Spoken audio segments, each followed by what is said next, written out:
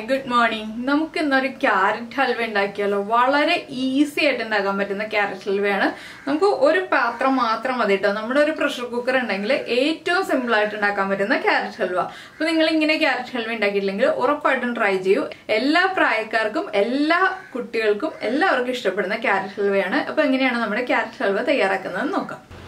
നമുക്ക് നമ്മുടെ ഇൻഗ്രീഡിയൻസ് നോക്കാം. ഞാനിപ്പോൾ അര കിലോ ക്യാരറ്റ് എടുത്തിട്ടുണ്ട്. അതിലേക്കായിട്ട് മുക്കാൽ കപ്പ് പഞ്ചസാര എടുത്തിട്ടുണ്ട്. ഒന്നേകാൽ കപ്പ് പാലെടുത്തിട്ടുണ്ട് ഒന്നേകാൽ കപ്പ് മുതൽ ഒന്നര കപ്പ് വരെ എടുക്കാം കേട്ടോ. എന്താണെന്ന് വെച്ചാൽ ഒന്നേകാൽ കപ്പ് പാലെടുക്കുകയാണെങ്കിൽ അര കപ്പ് വെള്ളം എടുക്കുക. ഒന്നര കപ്പ് പാലെടുക്കുകയാണെങ്കിൽ കാൽ കപ്പ് വെള്ളം എടുക്കുക. അത്രേ വ്യത്യാസമുള്ളൂ. പിന്നെ നെയ്യ് എടുത്തിട്ടുണ്ട് കാഷ്നട്ട് എടുത്തിട്ടുണ്ട് റൈസിൻസ് എടുത്തിട്ടുണ്ട്. നെയ്ക്കും കാഷ്നട്ടും റൈസിൻസ്. ഈ മൂന്ന് കാര്യത്തിന് അളവില്ല. നമുക്ക് ഇഷ്ടമുള്ള അളവിൽ ചേർക്കാം. അപ്പോൾ ആദ്യം നമുക്ക് ക്യാരറ്റും പാലും വെള്ളവും ചേർത്തൊന്ന് വേവിച്ചെടുക്കാം. അതിനുശേഷം നമുക്ക് ബാക്കിയുള്ള കാര്യങ്ങൾ ചേർക്കാം. ക്യാരറ്റ് ഞാൻ എന്താ ഈ ഒരു വലുപ്പത്തിൽ കട്ട് ചെയ്തെടുത്തിട്ടുണ്ട്. നമുക്ക് വേഗം കുക്കായി കിട്ടാനായിട്ടാണ്. അപ്പോൾ കുക്കറിലാണ് നമ്മൾ നമ്മുടെ മൊത്തം ഹൽവയുടെ പ്രിപ്പറേഷൻ ചെയ്യുന്നത്. അപ്പോൾ നമുക്ക് കുക്കറിലേക്ക് ക്യാരറ്റ് മാറ്റാം. അപ്പോൾ ഞാനിപ്പോൾ ഒരു കുക്കർ എടുത്തിട്ടുണ്ട്. കുക്കറിലേക്ക് നമ്മൾ കട്ട് ചെയ്ത് വെച്ചിരിക്കുന്ന ക്യാരറ്റ് ഇട്ട് കൊടുക്കാം. ക്യാരറ്റിലേക്ക് നമുക്ക് ഒരു പിഞ്ച് ഉപ്പ് ചേർക്കാം. മധുരം ഒന്ന് ബാലൻസ് ചെയ്യാനാണ് നമ്മൾ ഒരു പിഞ്ച് ഉപ്പ് ചേർക്കുന്നത്. ഇനി ഇതിലേക്ക് അരക്കപ്പ് കപ്പ് വെള്ളം ചേർക്കാം കേട്ടോ അരക്കപ്പിൽ കപ്പിൽ കൂടുതൽ വെള്ളം വേണ്ട. അതുപോലെ തന്നെ അരക്കപ്പ് കപ്പ് പാലും ചേർക്കാം. ക്യാരറ്റ് വേവാനാണ് നമ്മൾ പാലും വെള്ളവും ചേർക്കുന്നത്. ഇനി നമുക്കിതിലേക്ക് ഏലക്കയും പഞ്ചസാരയും ചേർത്ത് പൊടിച്ചു വെച്ചിരിക്കുന്നതാണ്. അര ടീസ്പൂൺ ഏലക്ക പഞ്ചസാര പൊടി ചേർക്കുക. ഇതൊന്ന് നന്നായിട്ട് മിക്സ് ചെയ്തതിന് ശേഷം ഒരു മൂന്ന് വിസിൽ വരുന്നത് വരെ ചെറിയ ബർണറിൽ ഹൈ ഫ്ലെയിമിൽ അടച്ചു വെച്ച് വേവിച്ചെടുക്കുക. മൂന്ന് വിസിൽ വന്ന് കംപ്ലീറ്റ് പ്രഷർ പോയി കഴിഞ്ഞിട്ട് നമുക്ക് ബാക്കിയുള്ള കാര്യങ്ങൾ ചെയ്യാനുള്ളൂ. അപ്പോൾ മൂന്ന് വിസിൽ വന്ന് കംപ്ലീറ്റ് പ്രഷർ പോട്ടെ. ഈ സമയത്ത് നമ്മൾ ക്യാഷ്നട്ട് ചെറുതാക്കി സ്പ്ലിറ്റ് ചെയ്ത് വെക്കുക. എന്റെ കയ്യിൽ മുഴുവൻ ക്യാഷ്നട്ടാണ് ഉള്ളത്. അപ്പോൾ മുഴുവൻ ക്യാഷ്നട്ട് ആകുമ്പോൾ സ്പ്ലിറ്റ് ചെയ്ത് നെയ്യിൽ വറുത്ത് വെക്കണം. അതൊക്കെ നമുക്ക് ഈ ഒരു സമയത്ത് ചെയ്ത് വെക്കാം. അപ്പോൾ നമ്മുടെ കുക്കറിന്റെ പ്രഷറൊക്കെ പോയിട്ടുണ്ട്. നമുക്ക് തുറക്കാം. ക്യാരറ്റൊക്കെ നന്നായിട്ട് കുക്കായി വന്നിട്ടുണ്ട്. ഇനി നമുക്കിതൊന്ന് ഉടച്ചെടുക്കാം നന്നായിട്ട് ഉടയണം. അപ്പം നിങ്ങളുടെ കയ്യിൽ എന്താണോ ക്യാരറ്റ് ഉടയ്ക്കാൻ പറ്റിയ ഒരു സ്പൂണോ എന്തെങ്കിലും പൊട്ടറ്റോ മാഷറോ ഒക്കെ ഉണ്ടെങ്കിൽ നന്നായിട്ടൊന്ന് ഉടച്ചെടുക്കുക. ഇതിലേക്ക് ഇനി നമുക്ക് കുറച്ച് പഞ്ചസാരയും കൂടി ചേർത്ത് ഉടയ്ക്കുകയാണെങ്കിൽ വേഗം ഉടഞ്ഞു കിട്ടും. അപ്പം നമുക്കിനി പഞ്ചസാര ചേർത്ത് കൊടുക്കാം. അപ്പം നല്ലൊരു ഏലക്ക ഫ്ലേവറൊക്കെ വരുന്നുണ്ട് കേട്ടോ. പഞ്ചസാര നിങ്ങളുടെ മധുരം അനുസരിച്ച് ചേർക്കുക. ഞാനിപ്പോൾ ഒരു ഒരു കപ്പിൽ താഴെയാണ് പഞ്ചസാര ചേർക്കുന്നുള്ളൂ. ഒരുപാട് മധുരം ചേർത്തിട്ട് ഹൽവ റെഡിയാക്കുന്നില്ല. ഇനി നമുക്ക് ഫ്ലെയിം ഓൺ ചെയ്ത് കൊടുക്കാം. ഇനി ഹൈ ഫ്ലെയിമിൽ വെച്ചിട്ട് തന്നെ കാര്യങ്ങളൊക്കെ നീക്കാം. ഇപ്പോൾ ക്യാരറ്റ് ഗ്രേറ്റ് ചെയ്തിട്ട് ഹൽവ ഉണ്ടാക്കുന്നതിനേക്കാൾ വളരെ ഈസി ആയിട്ടുള്ള ഒരു പ്രോസസ്സാണ് ഇതുപോലെ ചെയ്യുന്നത്. അപ്പോൾ നിങ്ങൾ ഇതുപോലെ ക്യാരറ്റ് ഹൽവ റെഡിയാക്കിയിട്ടില്ലെങ്കിൽ ഉറപ്പായിട്ടും ട്രൈ ചെയ്തോളൂ. വളരെ സിമ്പിളാണ് കുട്ടികൾക്കൊക്കെ നന്നായിട്ട് അങ്ങ് ഇഷ്ടപ്പെടും കേട്ടോ ഇതുപോലെ ക്യാരറ്റ് ഹൽവ ചെയ്യുകയാണെങ്കിൽ. അപ്പോൾ എന്തായാലും എല്ലാവരും ട്രൈ ചെയ്ത് നോക്കുക. ഇനിയിപ്പോൾ നമുക്കിതിലേക്ക് കുറച്ചുകൂടി പാലൊഴിച്ച് ഒന്നുകൂടി ഒന്ന് വറ്റിച്ചെടുക്കണം. അപ്പോൾ വലിയ പീസുകളൊക്കെ ഉണ്ടെങ്കിൽ ഉടച്ചെടുക്കുക. ചെറിയ പീസുകൾ ഉണ്ടെങ്കിൽ ഫൈനായിട്ട് അങ്ങ് ഉടച്ച് അരഞ്ഞ പോലെ ആക്കണ്ട. മിക്സിയിലൊന്നും അടിച്ചെടുക്കേണ്ട ആവശ്യമില്ല.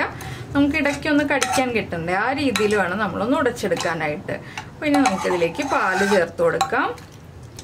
നമ്മൾ എടുത്തു വെച്ചിരുന്ന പാലിന്റെ ബാക്കിയാണ് നമ്മൾ ചേർക്കാൻ പോകുന്നത്. പാലും കൂടി ചേർന്ന് നന്നായിട്ട് തിളച്ചൊന്ന് കുറുകി വരട്ടെ. അപ്പോൾ നമ്മുടെ ക്യാരറ്റ് ഹൽവ റെഡി ആയിക്കൊണ്ടിരിക്കുന്നുണ്ട്. ഈ സമയത്ത് നമുക്ക് ഒരു പാനിലേക്ക് കുറച്ച് നെയ്യ് ഒഴിച്ചിട്ട് നമ്മുടെ കാഷ്നട്ടും റീസൻസും ഒക്കെ ഒന്ന് ഫ്രൈ ചെയ്തെടുക്കാം. അപ്പോൾ നെയ്യുടെ അളവൊക്കെ ഞാൻ പറഞ്ഞല്ലോ നിങ്ങളുടെ ഇഷ്ടമാണ്. ഞാൻ അളവൊന്നും പറയുന്നില്ല. ഞാനിപ്പോൾ പാനിലേക്ക് നെയ്യ് ഒഴിച്ചിട്ടുണ്ട്. ഇതിലേക്ക് നമുക്ക് ആദ്യം കാഷ്നട്ട് ചേർത്ത് കൊടുക്കാം. കാഷ്നട്ട് ഒന്ന് ചൂടായി തുടങ്ങട്ടെ. അപ്പോൾ ഇടയ്ക്കിടയ്ക്ക് ഒന്ന് ഇളക്കി കൊടുക്കാം കേട്ടോ നമ്മുടെ ഹൽവ. ആ പാൽ മുഴുവൻ വറ്റി വരണം. അതുകൊണ്ടാണ് ഇടയ്ക്കിടയ്ക്ക് ഒന്ന് ഇളക്കി കൊടുക്കുക എന്ന് പറയുന്നത്.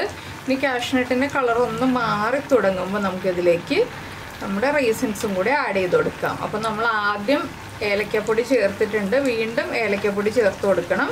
ഇനിയിപ്പോൾ ഞാൻ റീസൻസും കൂടി ചേർക്കുകയാണ് റീസിൻസ് ഇനി ബബിളായി വരുന്നത് വരെ വീണ്ടും ഇളക്കി കൊടുക്കുക. അപ്പം നമ്മുടെ കാഷ്നട്ടും റൈസിൻസും റെഡി ആയിട്ടുണ്ട്. ഇത് നമുക്ക് ഫ്ലെയിം ഓഫ് ചെയ്ത് വയ്ക്കാം ഇനി നമുക്ക് നമ്മുടെ ഹൽവ റെഡി ആയി കഴിഞ്ഞ് ഇത് ഹൽവയിലേക്ക് ചേർത്ത് കൊടുക്കാം.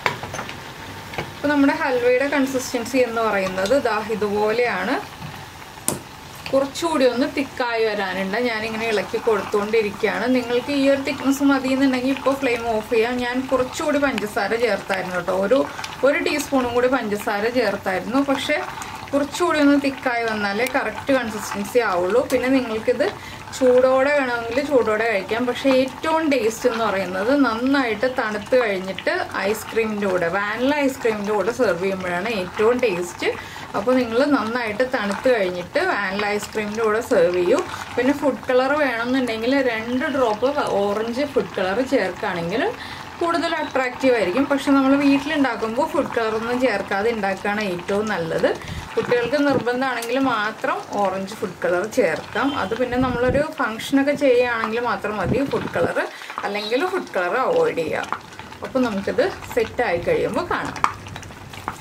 ഇപ്പം നമ്മുടെ ഹൽവയുടെ പാകം കറക്റ്റായിട്ടുണ്ട് ഞാൻ ഒരുപാട് ടൈറ്റ് ആക്കുന്നില്ല. ഈ ഒരു പാകത്തിൽ ഫ്ലെയിം ഓഫ് ചെയ്യാണ്. ഇനി നമുക്കിതിലേക്ക് നമ്മൾ ഫ്രൈ ചെയ്ത് വെച്ചിരിക്കുന്ന ക്യാഷ്നട്ടൊക്കെ ചേർത്ത് കൊടുക്കാം അപ്പോൾ ഞാൻ ഒരു കൈ കൊണ്ട് ക്യാഷ്നട്ടൊക്കെ ഫ്രൈ ചെയ്തതുകൊണ്ട് കുറച്ച് കരിഞ്ഞു പോയിട്ടോ. അതുകൊണ്ട് ഞാൻ കുറച്ച് ക്യാഷ്നട്ടേ ചേർക്കുന്നുള്ളൂ. ബാക്കി ഞാൻ വീണ്ടും ഫ്രൈ ചെയ്ത് ചേർത്തോളാം. അപ്പോൾ ഇതിലേക്ക് നമുക്കിനി ഒരു ടീസ്പൂണും കൂടി നെയ്യ് ചേർത്ത് കൊടുക്കാം. ഒരു ടീസ്പൂൺ നെയ്യുടെ കൂടെ തന്നെ നമുക്ക്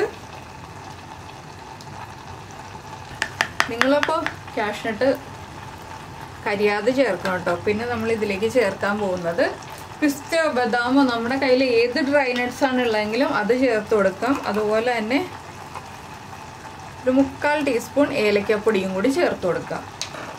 ഇതെല്ലാം ചേർത്ത് നന്നായിട്ടൊന്ന് ഇളക്കി കഴിഞ്ഞിട്ട് നേരെ ചൂട് മാറിക്കഴിഞ്ഞ് റൂം ടെമ്പറേച്ചർ ആയി കഴിയുമ്പോൾ എടുത്ത് ഫ്രിഡ്ജിൽ വയ്ക്കുക നന്നായിട്ട് തണുത്ത് കഴിയുമ്പോൾ ഐസ്ക്രീമിന്റെ കൂടെ സെർവ് ചെയ്യുക ഐസ്ക്രീം കഴിക്കാൻ താല്പര്യമില്ലെങ്കിൽ ചൂട് മാറിക്കഴിയുമ്പോൾ വെറുതെ സ്പൂണിൽ കോരി കഴിക്കുക ഇത്രയേ ഉള്ളൂ നമ്മുടെ ക്യാരറ്റ് ഹൽവയുടെ പരിപാടി. അപ്പോൾ ക്യാരറ്റ് ഹൽവ ഇതുപോലെ ഉണ്ടാക്കി നോക്കിയിട്ടില്ലെങ്കിൽ എല്ലാവരും ട്രൈ ചെയ്തിട്ട് ഫീഡ്ബാക്ക് ഒക്കെ അറിയിക്കുക. അതുപോലെ നിങ്ങളുടെ ഫ്രണ്ട്സിനും ഫാമിലി മെമ്പേഴ്സിനും ഒക്കെ ഒന്ന് ഷെയർ ചെയ്ത് കൊടുക്കുക കേട്ടോ.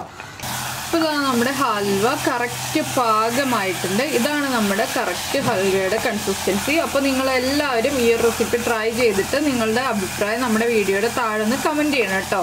അപ്പോൾ നമുക്ക് നമ്മുടെ അടുത്ത റെസിപ്പിയുമായിട്ട് അടുത്ത ദിവസം വീണ്ടും കാണാം.